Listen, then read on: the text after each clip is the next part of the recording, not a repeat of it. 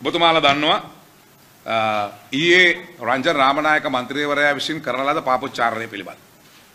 අපි මුලින්ම කියන්න ඕනේ පසුගිය යහපාලන රජය විසින් විපක්ෂය මර්ධනය කිරීමේ අරමුණින් ක්‍රියාත්මක කරන ලද රාජ්‍ය යාන්ත්‍රණයේ ඇතුළත් සියලු තොරතුරු හඬපට එක් ලක්ෂ විසියෙක්දාහක් මිරිහාන පොලිසිය විසින් පසුගියදා අත්තරංගොඩ ගත්ත මෙරටේ මහත් ආදවනයට ලක්වෙච්ච කාරණයක් වුණා.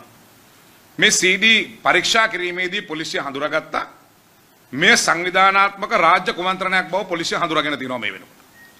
ඒ වගේම මීට අග්‍රාමාත්‍ය රනිල් වික්‍රමසිංහ මහත්තයා ඇතුළු අමාත්‍යවරු පිරිසක් මේකට සම්බන්ධ වූ බව මේ වෙනකොට පොලිසිය හඳුනාගෙන තියෙනවා. ඒ වගේම මේකට නීතිපති දෙපාර්තමේන්තුව අධිකරණය අල්ලස් කොමිෂන් සභාව FCID එක ඒ වගේම CID එකේ ඉහළ නිලධාරීන් සම්බන්ධ වූ බවට මේ වෙනකොට පොලිසිය තොරතුරු හොයාගෙන තියෙනවා කියන එක අධිකරණයට වාර්තා ලැබිලා තියෙනවා අධිකරණය මගින් අපි ඒ පිළිබඳ තොරතුරු හොයාගෙන තියෙනවා පාර්ලිමේන්තු මන්ත්‍රීවරු වෙච්ච ජොන්ස්ටන් ප්‍රනාන්දු මන්ත්‍රීවරයා නාමල් රාජපක්ෂ මන්ත්‍රීවරයා මහින්දානන්ද අලුත්ගමගේ අනායට නඩු දාන්න බලපෑම් කරපු ආකාරය පිළිබඳව මේ CD පටි වලින් පැහැදිලිව සාක්ෂි සහිත ඔප්පු වෙලා තියෙනවා මේ නඩු දාන්න කටයුතු කරා කියලා. ඒ නඩු දැමීම පමණක් නොව හිසරදයක් වෙච්ච විපක්ෂයට ලොකුම හිසරදයක් වෙච්ච පාර්ලිමේන්තු මන්ත්‍රීවරු ඝාතනය කිරීමට පවා මේ ආණ්ඩුවේ මේ යාන්ත්‍රණය ක්‍රියාත්මක කළා තියෙනවා. ඔබ සමාජ මාධ්‍ය වල දැක්කා රනිල් වික්‍රමසිංහ අගමැතිවරයා රංජන් රාමනායක මන්ත්‍රීවරයාගේ කතාවේ කියනවා මහින්දානන්ද අලුත්ගමගේ ඝාතනය කිරීමට දැන් මම පුහුණු වෙනවා. ඒකට අගමැතිවරයාගේ ආශිර්වාදය ලැබෙනවා. එහෙනම් විපක්ෂය මර්ධනය කිරීම පමණක් නෙවෙයි මර්ධනය කරලා පිරිමහන්න බැරි මිනිස්සු මරන්න මේ රජයේ කුමන්ත්‍රණේ එක් කටයුත්තක් හැටියට සිද්ධ වෙනවා.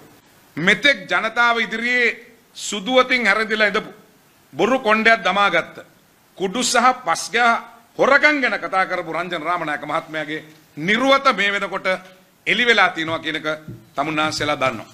මේ සියලු තොරතුරු වලින් පෙනී යන්නේ රංජන් රාමනායක කියන්නේ රජයේ කොන්ත්‍රාත්කාරයෙක් බව. රංජන් රාමනායක කියන්නේ මානසික ආතතියකින් පෙළෙන කාමුක රෝගියෙක් බව. ඔබ දන්නවද පහුගිය අවුරුදු 4 වෙනකොට රංජන් රාමනායක මන්ත්‍රීවරයාට විරුද්ධව අධිකරණයේ නඩු 15ක් විභාග වෙනවා.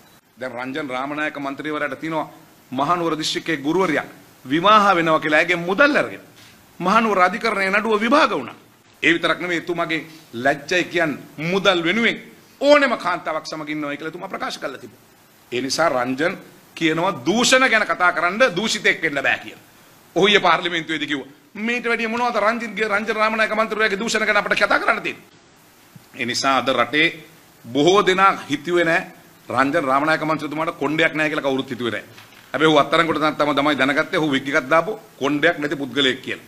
එතුමා කියනවා ජනාධිපතිවරයාගේ දුරකථන සංවාද මගේ ළඟ තියෙනවා. ඇමතිවරුගේ දුරකථන සංවාද මගේ ළඟ තියෙනවා. ඇමතිවරුන්ගේ බිරින්දෑවරුන්ගේ දරුවන්ගේ දුරකථන සංවාද මගේ ළඟ තියෙනවායි කියලා කියනවා. මේ ඔක්කොම මම සභාගත කරනවා කියන බලන්න රංජන් මොනතරම් බොරුකාරයෙක්ද කියලා මම මේ දැන් කතා කරලා පාර්ලිමේන්තු මහලේකම්තුමාටත් වේත්‍රධාරිතුමාටත් එකම CD පටියක් එකම තොරතුරක් ඊයේ හවස 6යි තිය පාර්ලිමේන්තුව අවසන් වෙන තෙක් සභාගත කළා නැහැ. ඒ නිසා අපි රංජන් රාමනායක මහත්තයාට අභියෝග කරනවා.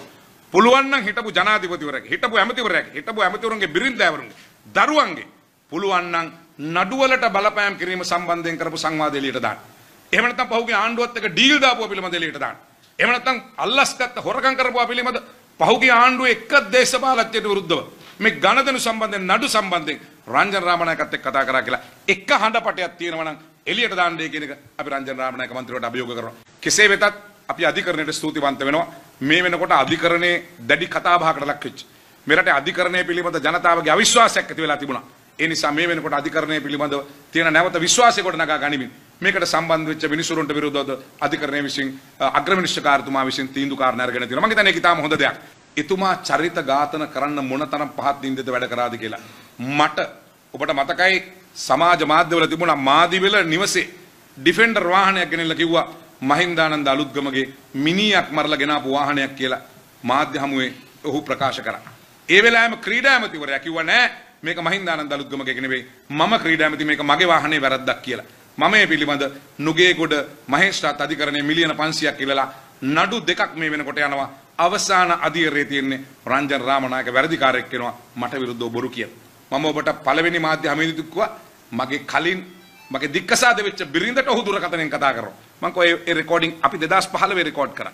ඇයට බලපෑම් කරනවා මේ නඩුවලට ඇවිල්ලා සාක්ෂි දෙන්න කියලා. මේ වගේ ඊටාම නින්දිත ලෙස පහත් ලෙස බලපෑම් කරමින් කරපු මේ සියලු රංජන් රාමනායක කියන සුදු ඇඳගත් ගතගත බොහොම ලස්සන නළු වගේ සියලු තොරතුරු සැබෑ තොරතුරු එළි වෙලා තිනවා. ඔහු පාපොච්චාරණයක් කරලා උත්සාහ කරන්න බැලුවා ආණ්ඩුවේ සියලු දෙනාගේ දුරකථන සංවාද තියෙනවා කියලා එක සංවාදයක් ඔහුට ඊයේ පාර්ලිමේන්තුවේ සභාගත කරන්න හැකියාවක් ලැබුණේ නැහැ. මේ එක්සත් ජාතික පක්ෂ ආණ්ඩුව විසින් අගමැතිවරයාගේ නායකත්වයෙන් මේ කරන ලද කුමන්ත්‍රණය සියල්ල එළි වෙලා ඉවරයි. මේකට දැන් නීතිය ක්‍රියාත්මක වෙනවා. මම ඔබට කිව්වා අධිකරණයේ මිනිසුරු දෙන්නෙක් ඉද දැන් තමන්ගේ රැකියාව හිමි වෙලා තියෙනවා. ඒ විතරක් නෙවෙයි දැන් තව රංජන රාමනායක මන්තුමා හිරේ ගිහිල්ලා තියෙනවා. ඒ නිසා මේ පිළිබඳ අධිකරණයේ නඩුවක් යනවා මේ පිළිබඳව අපි කතා කරන්න කැමති නැහැ. ඒ නිසා මෙය එක්සත් ජාතික පක්ෂය විසින් අගමැතිවරයා ඇතුළු ආණ්ඩුව විසින් කරලද කුමන්ත්‍රණයක් බව රටට ඔප්පු වෙලා ඉවරයි. එතුමා මොනතරම් මේක හොදන්න ගියත් මේ රටේ මිනිස්සු තීන්දුව කළා ඉවරයි. රංජන රාමනායක කොන්ත්‍රාත්කරුවෙක් බව.